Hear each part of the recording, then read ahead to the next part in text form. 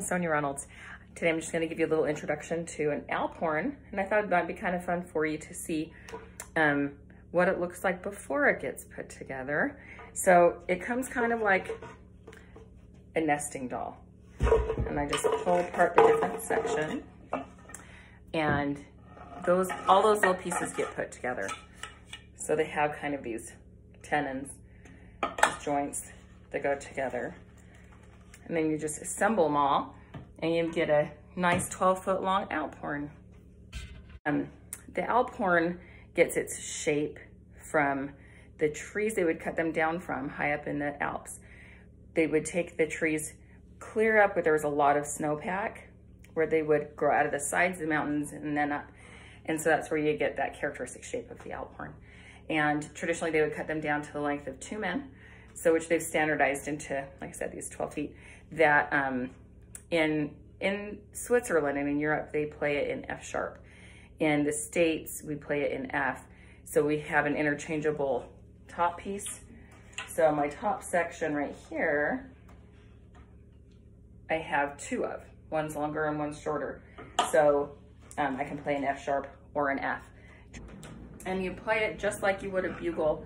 Um, as you can tell from back here, I'm really into natural horns and um, anything of historic value to the modern French horn. So I've got lots of things you'll see like back here, like post horns and shell horns and shofar and bugles and all sorts of stuff that all kind of operate on the same principle that it is based off of the natural harmonic series of the length of um, that tubing. So um, this length of tubing, like I mentioned before, is based in F. So I'm going to be able to play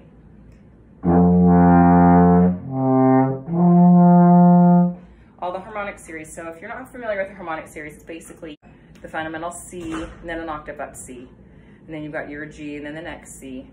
And then in this middle octave, you have got thirds. So C, E, G, and then a false B, it's a B flat. It's like a flat B. And then in the higher octave, it's almost by step.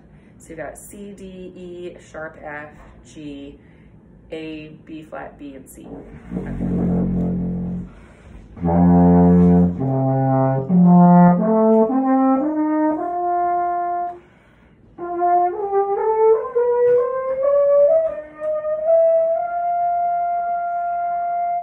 And the changing of the pitch is all in the embouchure, the tongue position, airspeed, just like you would any other brass instrument. So there's no valves or rotors or even holes to adjust pitch. It's just all open harmonic series.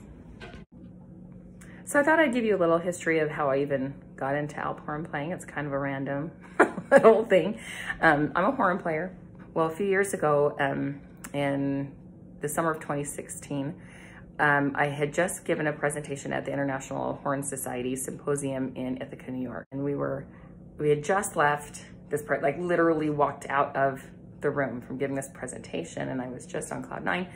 And we started walking across this campus and I heard these Alp playing and we, um, I just gravitated towards it. Like my whole soul just went, I must be part of that.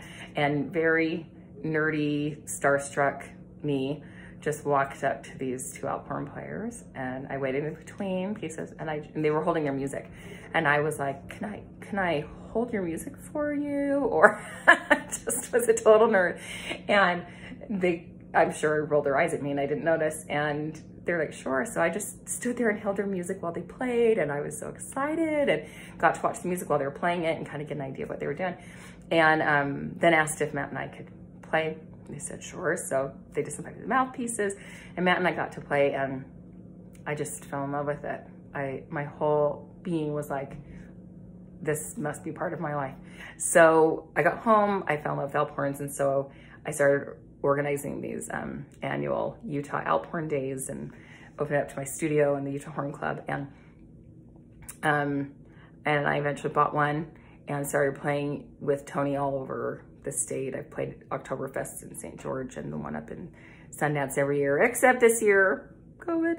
My great grandmother, great great grandmother, she um, grew up on a dairy farm outside of Barron, and she and her sister would play Alp horn duets to each other off the different sides of the Valley, which is, by the way, like the most typical scene in the whole world of Alphorn world is two um, milkmaids, they were milkmaids, and playing Alphorns to each other across the valley because the sound echoes.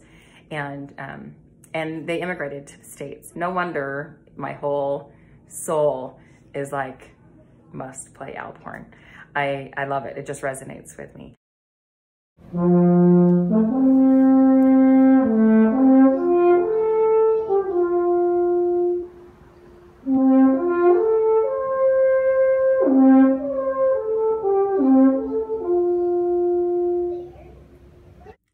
Hey everybody, thank you so much for watching this video. I hope you enjoyed it.